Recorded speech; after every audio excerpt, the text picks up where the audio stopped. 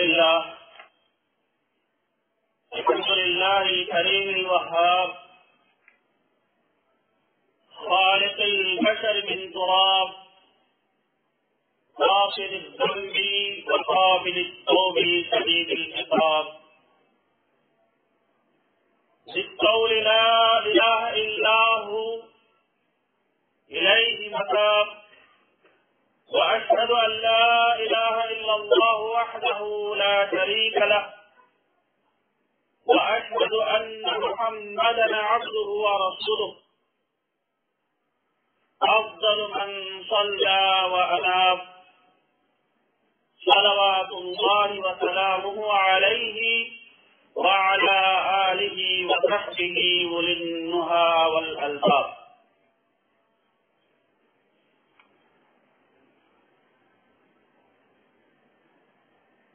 أما بعد فقد قال الله عز وجل في القرآن المجيد أعوذ بالله من الشيطان الرجيم. بسم الله الرحمن الرحيم. وهو الذي يرسل الرياح بين يدي رحمته.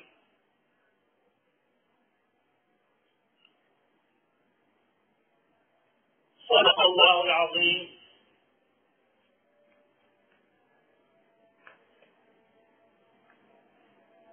हमने विधान प्रकट करो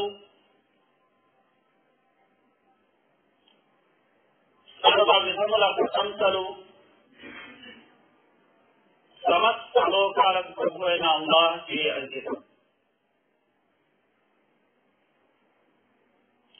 الله कृपा कटाक्षालू మహాప్రవక్త మొహమ్మద్ సల్లల్లాహు అలైహి వసల్లం వారిపై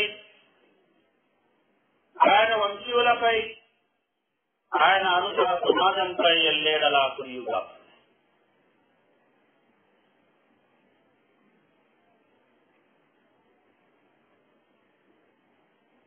అభిమాన సోదరులారా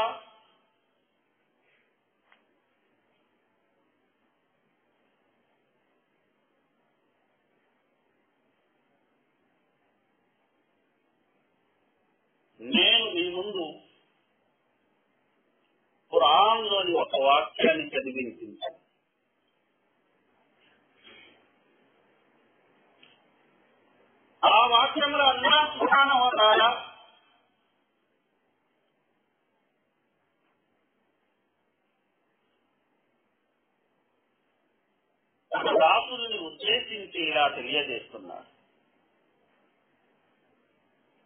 وهو الذي يرسل الرياح بشرا بين يدي رحمته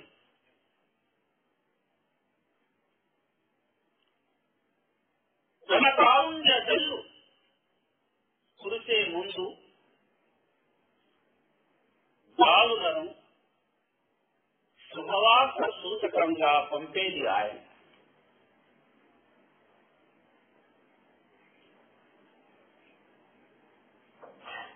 ఈ ఆయతలో అల్లా సుభానువతాల వర్షాన్ని తన దయగా కరుణకు ప్రతీకగా పేర్కొనడం జరిగింది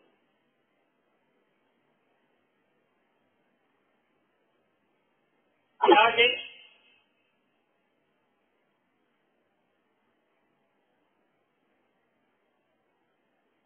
తన కారుణ్య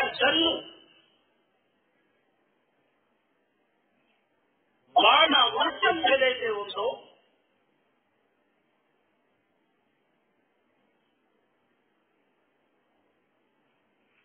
దాన్ని తన దాసులపై కురిపించక ముందే అల్లా సుహానవతాల వాన పూర్వబోతుందని ముందుగానే మలయ పవనాల్ని పంపిస్తారు.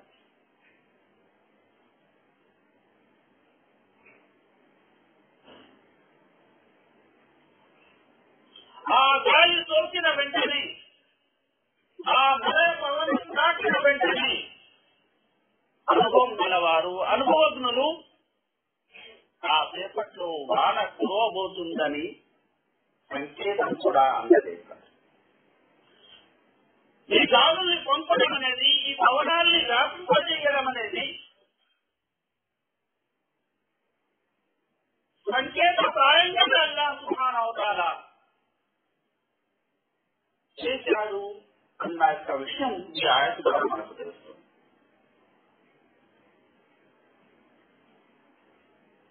ప్రధాన సోదరులారా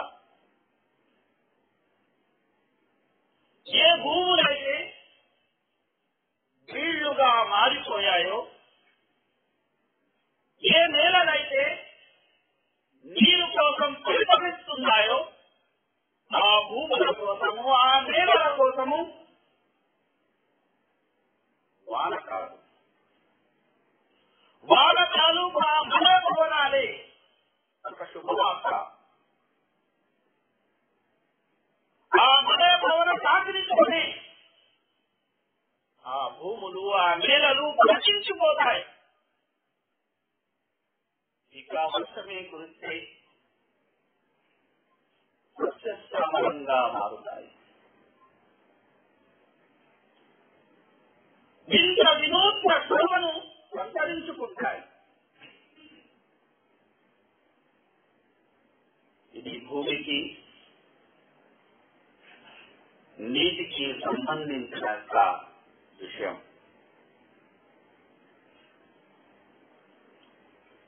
ఇదే విధమైన భూమి ధరణి నేల మనలో కూడా ఉంది అదే మనస్సు ఎలాగైతే భూమి పీకలు వారుతుందో అదేవిధంగా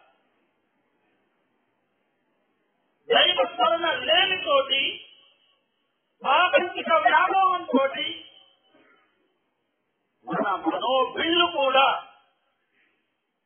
మన మనోధరణి కూడా మన మనోశీల కూడా పీకలు వాడుతుంది. అలా పీకలు వాడిన సీమ. నీరు కోసం పరితపించే ఆ హృదయం. కారుణ్యం కాదు కదా. కారుణ్యం తాలూకు. పవనాలు వీచిన గాలులు వీచిన అది పులకించిపోతుంది మనం చూస్తాం. వాళ్ళ తాలూకు గాలులు వీచినప్పుడు నేల చెమ్మగిల్లుతుంది భక్తి వ్యక్తపడుతుంది అదేవిధంగా కారుణ్యం తాలూకు పవనాలు వీచినప్పుడు మనోధరణికి సంబంధించిన వ్యక్తి కూడా మెచ్చబడుతుంది పాటిస్తుంది ఇదంతా ఎందుకు చెప్పవలసి వచ్చింది? కళ్యాణ సోదరులారా ప్రస్తుతం మనం చాలా మాసంలో ఉన్నాము. రంజాన్ మాసానికి ముందు వచ్చే మాసం షాబాను మాసం. వరాల వాన రమజాన్లో కురుస్తుంది. కారుణ్య రమజాన్లో కురుస్తుంది.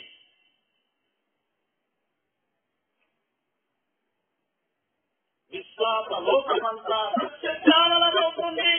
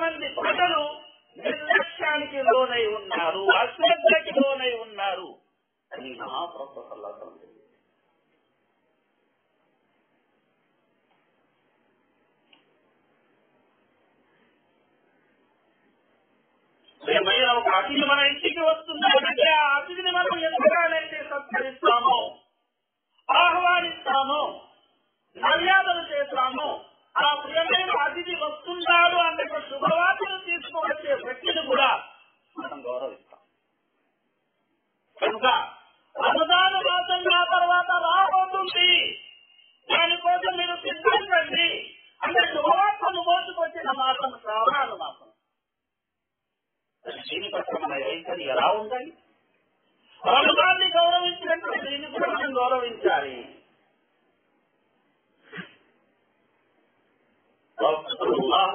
వారైతే అలానే చేసేవారు. స్వర్గంలో ప్రవక్తలంగా వారి కులం సహచర్యమే మనకు ప్రియమైతే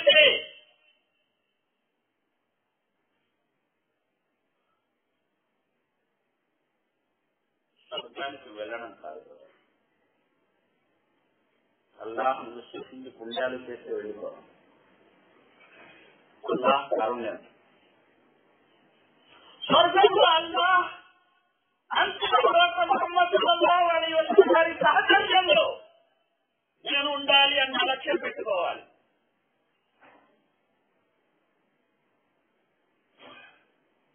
మామూలుగా డిసైడ్ చేస్తాం కదండి?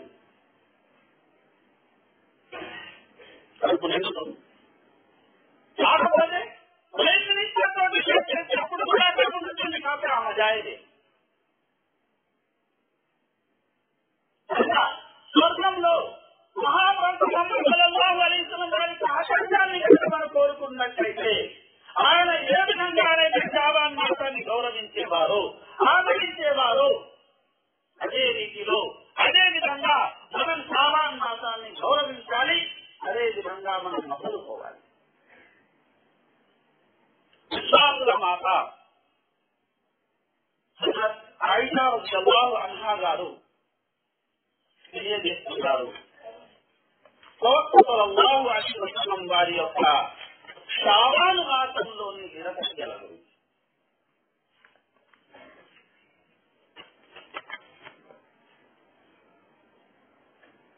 عن عائشة رضي الله عنها قالت لم يكن النبي صلى الله عليه وسلم يصوم من شهر أكثر من شعبان فإنه كان يصوم شعبان كله وفي رواية كان يصوم شعبان إلا قليلا.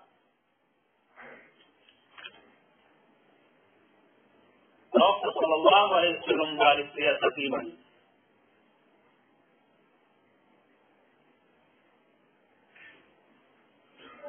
ఆయన దినచర్యలకు సజీవ సాక్ష్యమైన ఒక ధర్మకారి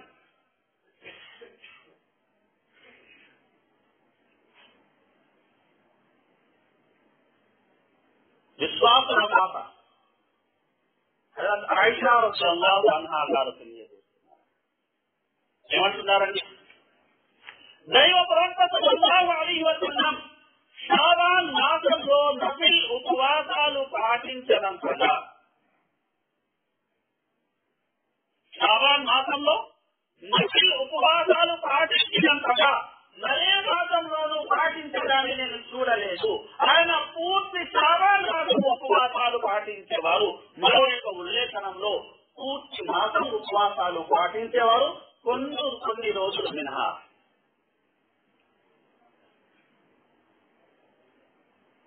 విమాన సోదరులారా మహాప్రభుత్వం అలీ వసలం గారికి ఆధ్యాత్మికపరమైన ఆహారం అల్లాహ తరపు నుండి లభించేది. ఒక సందర్భంలో అడిగారు. ఓ దైవ నిర్విఘ్నంగా నిర్విరామంగా ఉపవాసాలు ఉండేందుకు శోభ విధాలు ఉండేందుకు మీరు మమ్మల్ని అనుమతించడం లేదే. అయితే మీరుంటున్నారే అని ప్రశ్నిస్తే నా విషయం వేరు నాయన. నేను నా ఉపవాసాన్ని నా ప్రభు దగ్గర విరమిస్తాను. నా ప్రభు నన్ను తినిపిస్తాడు దాపిస్తాడు అని స్వస్థ స్వస్థమంశం జవాబు అంటే మనలోని ఏ వ్యక్తి అయినా మహాప్రభుత్వాలు అని వసల్లం వారి ఆరాధనను మించిపోవాలంటే అతని తరం అయ్యే పని కాదు. అతనికి అది సాధ్యం కాదు. వారికి కొన్ని ప్రత్యేకతలు ఉన్నాయి. ఆ ప్రత్యేకతల్ని ప్రవర్తన నిరంతరం తన సమాజం మీద ఆయన రుద్దలేదు. కనుక తన సమాజం విషయానికి వచ్చేసరికి ఆయన జాగ్రత్త వహించారు ఆ ఆంక్షాన్ని ఆదేశాన్ని ఆయన తగ్గించారు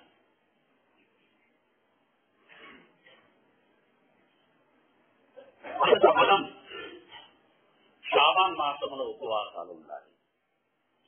అయితే రంజాన్ మాసానికి ముందు వరకు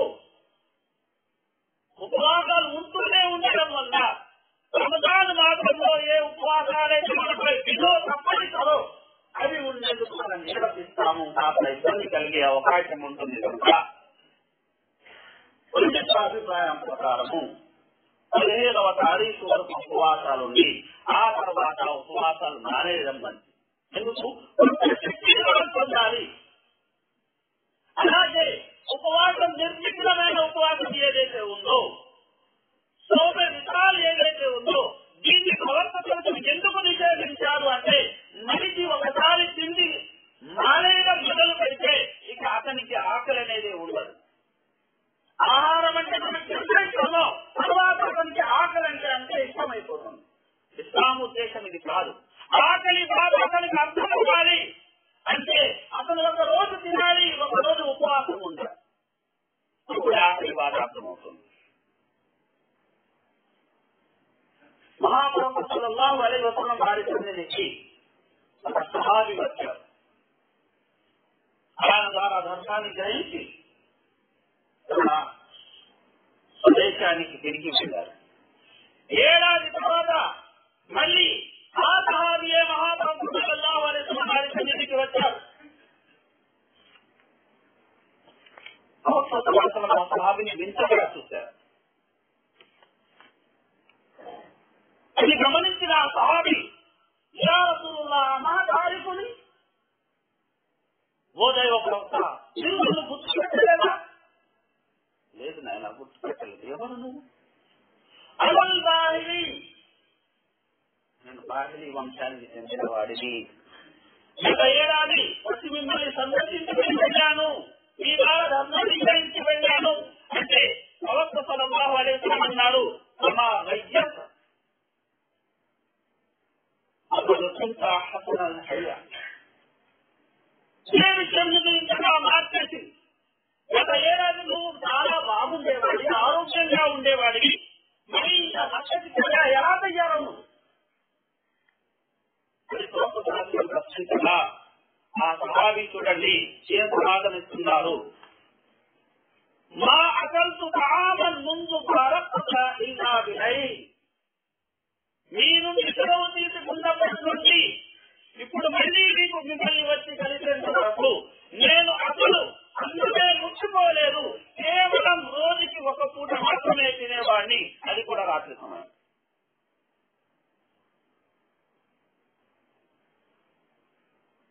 ప్రవక్తలు విమర్శించలేదు అతని భక్తిని తోలనాడలేదు ప్రవక్తలు అన్నారు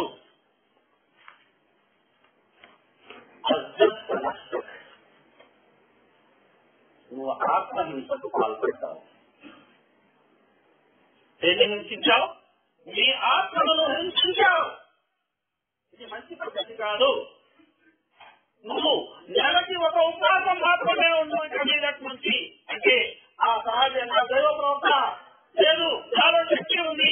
మరింత పెంచండి. సరే రెండు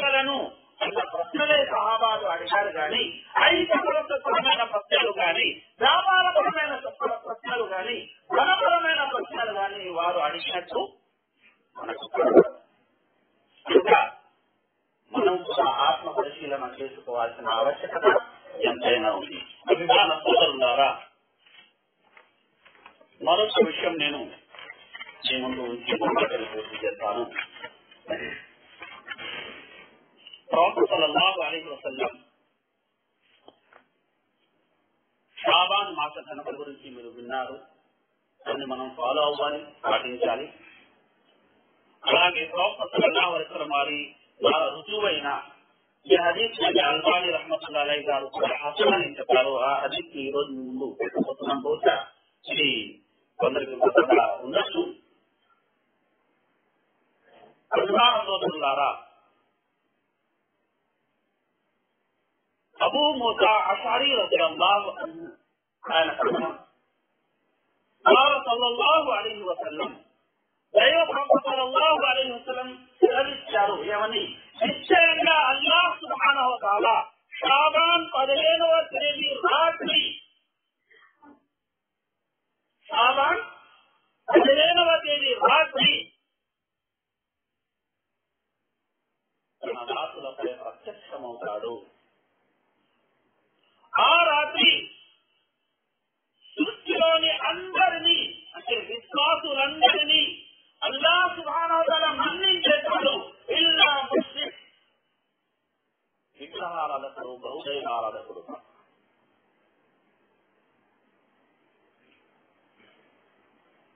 ఈ రాత్రి ఘనత గురించి ఈ హదీస్లో ఏ విధమైన సందేహం లేదు. కాకపోతే ఆ సందర్భాన్ని పురస్కరించుకుని ఆ రాత్రి వేలకు కలగని చెప్పడం కానీ ఆ రాత్రిలో కొన్ని ప్రత్యేకమైన ప్రార్థనలు చేయడం కానీ కొన్ని ప్రత్యేకమైన ప్రార్థనలు ప్రత్యేకమైన పద్ధతిలో కొన్ని దూరాల్ని పెంచి చదవడం కానీ ఇది రూఢి కాలేదు ప్రవక్త ద్వారా ఇది రూఢి కాలేదు ప్రవక్త సలహాం గారి సహచరుల ద్వారా సహాబాల ద్వారా రుజువు కాలేదు. తర్వాతి కాలం నాటి సాబాయిలు సాబాయిల ద్వారా కూడా ఇది కాలేదు కనుక ఆ రాత్రికి సంబంధించిన ప్రార్థనలు ఏవైతే ఉన్నాయో ఆరాధనలు ఏవైతే ఉన్నాయో అవి వంద కావచ్చు వెయ్యి రకాతులు కావచ్చు ఆరు రకాతులు కావచ్చు ఏమైనా కావచ్చు. ఇలా మనం కాలు తెలుసుకొని ఇన్నే రకాసులని ఎన్నేసార్లు మనం సూరా చదవాలని ఖరారు చేసుకుని ఆ రాత్రిలో చదవడం అనేది ముంబాటికి సిద్ధ అల్లామా ఇబ్ని బాజ్ రహమతుల్లాహ్ అలైహి వారు సెలవిచ్చారు. ఈ రాత్రికి సంబంధించిన ప్రార్థన విషయంలో ఎన్ని హదీసులైతే వచ్చాయో ఎన్ని ప్రవచనాలైతే వచ్చాయో అన్ని బలహీనమైనవి కల్పితమైనవి కనుక ఈ రాత్రికి సంబంధించిన ఏ ప్రత్యేకమైన ఆరాధన లేదు.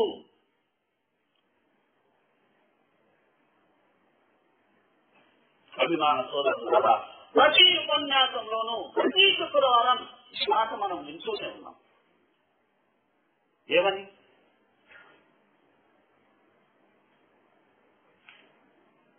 ఏమని వింటున్నామండి? కుళ్ళు మొహదతి బిడ్ఆ ప్రతి నూతన పోకడ పోకడ బిడ్అతే కుళ్ళు బిడాతి జలాల ప్రతి ఒక్క విధానాన్ని మార్గభ్రష్టత్వానికి గురి చేస్తుంది కుళ్ళు బలాలకి చిందా అలా ప్రతి మార్గభ్రష్టత్వం అనేది మనిషిని నరకం పాలు చేస్తుంది. ఎక్కడైతే మనం అల్లాహ్ను ఆరాధిస్తున్నామో. ఎప్పుడైతే మనం అల్లా అంతిమ ప్రభు ముహమ్మద్ వారిని అభిమానిస్తున్నామో అక్కడే మనం నూతన పోకడలకు కొత్త విషయాలకు ధర్మంలో లేని ధర్మం ఆదేశించిన విషయాలకు దూరంగా మసలుకోవాలి దూరంగా